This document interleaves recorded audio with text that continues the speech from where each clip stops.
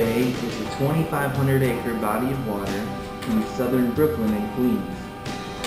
It connects to the New York Harbor and the Atlantic Ocean via the Rockaway Inlet. Since 1972, most of Jamaica Bay has been a part of the Gateway National Recreation Area, which is run by the National Park Service.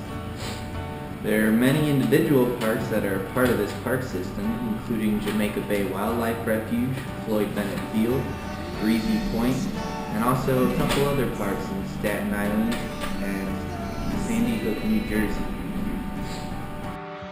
The bay comprises of salt marshes, sand dunes, grasslands, beaches, ponds, and woodlands. There's an astonishing variety of wildlife, including over 325 species of birds.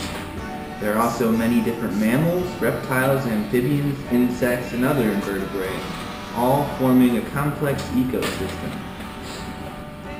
The twice daily incoming of tides brings in a fresh supply of oxygen. Seaweed washed up on shore provides shelter for crabs. Exposed invertebrates on mudflats during the low tides provide food for birds.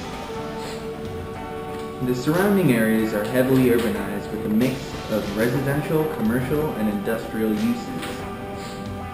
The bay has been altered over time by dredging and filling, including the construction of two airports, the now defunct Floyd Bennett Field, which is now a nature preserve, and the much larger and currently operational John F. Kennedy Airport. 12,000 of the original 16,000 acres of wetlands have been filled in.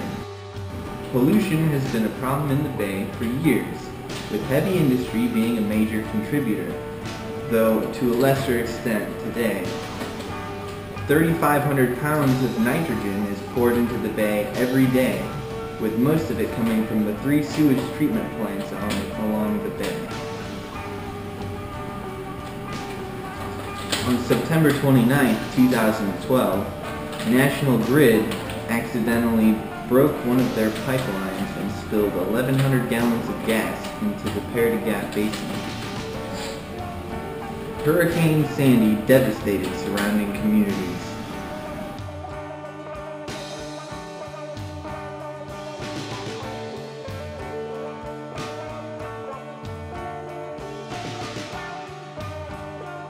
Flooding and fires ravaged Breezy Point and the Rockaways. Jamaica Bay sustained damage, although marshlands have always been good at mitigating the effects of storms.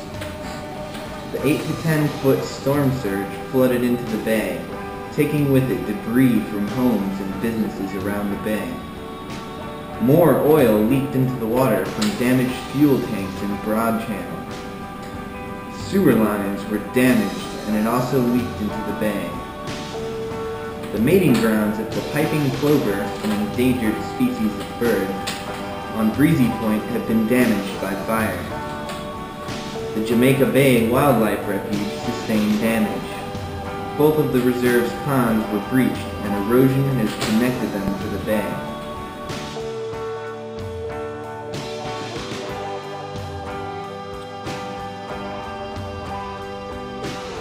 Most are optimistic about how Jamaica Bay will recover from the effects of the storm, as nature has a certain resilience